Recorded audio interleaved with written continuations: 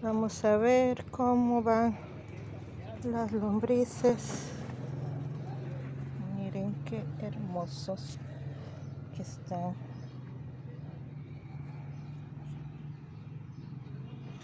Eso es cuando tienen mucho cítrico, hacen esos nudos.